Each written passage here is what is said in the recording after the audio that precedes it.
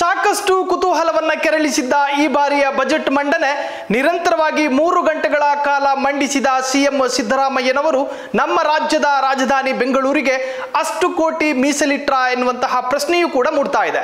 ಮುಂಬರುವ ಬಿಬಿಎಂಪಿ ಚುನಾವಣೆಯನ್ನ ಗಮನದಲ್ಲಿಟ್ಟುಕೊಂಡು ಬೆಂಗಳೂರಿನ ಅಭಿವೃದ್ಧಿಗೆ ಅಷ್ಟು ಕೋಟಿ ಮೀಸಲಿಟ್ರ ಎನ್ನುವಂತಹ ಪ್ರಶ್ನೆ.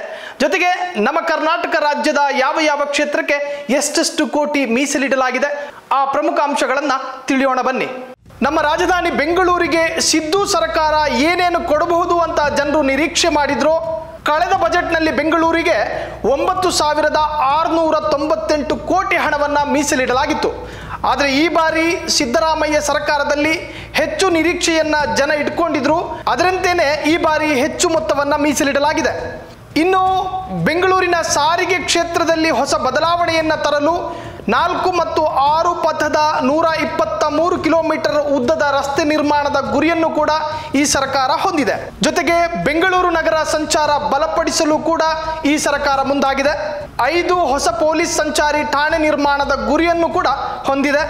ಬೆಂಗಳೂರಿನ ಎಂಬತ್ಮೂರು ಕಿಲೋಮೀಟರ್ ರಸ್ತೆ ಹೈಡೆನ್ಸಿಟಿ ಕಾರಿಡಾರ್ ನಿರ್ಮಾಣಕ್ಕೂ ಮುಂದಾಗಿದೆ ಈ ಸರ್ಕಾರ.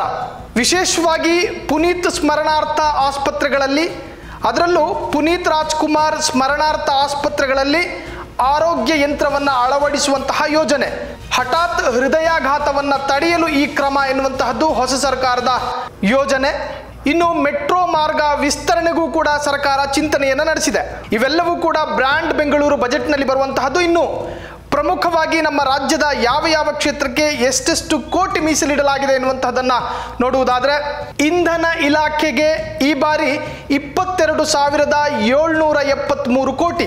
ಪಶುಸಂಗೋಪನೆ ಮೀನುಗಾರಿಕೆ ಇಲಾಖೆಗೆ ಮೂರು ಸಾವಿರದ ಇಪ್ಪತ್ನಾಲ್ಕು ಕೋಟಿ ಹಣವನ್ನ ಮೀಸಲಿಡಲಾಗಿದೆ.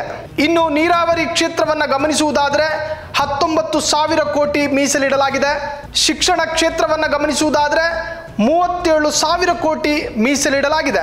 ಇನ್ನು ಸಾರಿಗೆ ಒಳಾಡಳಿತಕ್ಕೆ ಹದಿನಾರು ಸಾವಿರ ಕೋಟಿ, ಕಂದಾಯ ಇಲಾಖೆಗೆ ಹದಿನಾರು ಸಾವಿರ ಕೋಟಿ, ಇನ್ನು ಗೃಹ ಜ್ಯೋತಿ ಯೋಜನೆಗೆ ವಾರ್ಷಿಕ ವೆಚ್ಚ ಹದಿಮೂರು ಸಾವಿರದ ಒಂಬೈನೂರ ಹತ್ತು ಕೋಟಿ. ಇನ್ನು ಗೃಹಲಕ್ಷ್ಮಿ ಯೋಜನೆಗೆ ಸರ್ಕಾರ ಮೂವತ್ತು ಸಾವಿರ ಕೋಟಿ ಮೀಸಲಿಡಲಾಗಿದೆ.